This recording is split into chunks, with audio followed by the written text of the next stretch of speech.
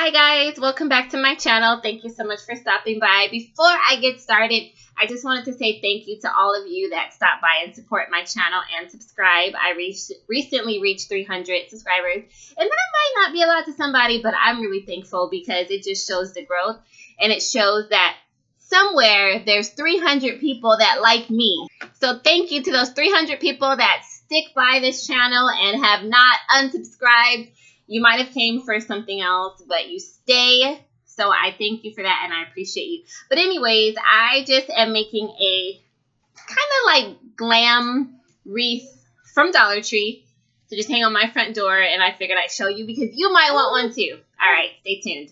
All right, guys, so what you see here are pretty much everything is Dollar Tree items.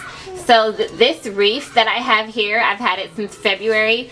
It's from the Dollar Tree. All I did was spray paint it in with like a little white just to give it kind of like a frosty, shabby chic look.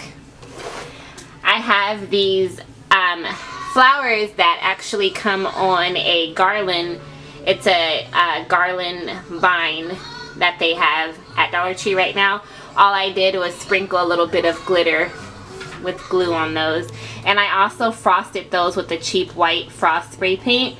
I have the cornucopia, like the corn on the cob. I sprayed this with the same white frost, sprinkled a little glitter on it. Now this jean fabric here came from Joann's. It was on sale really cheap and I also had a coupon.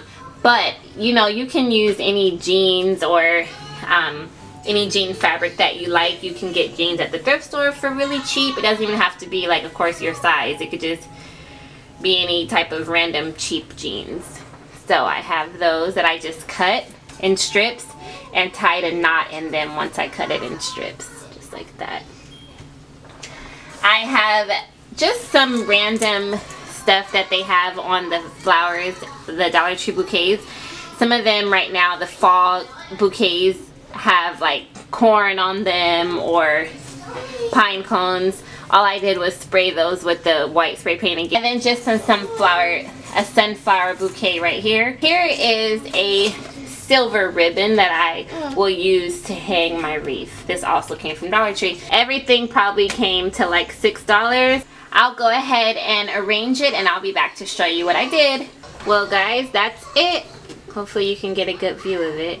I did not want it to look like your traditional fall wreath. So I really like how it turned out. I just decorated one side because I just kind of like something a little different.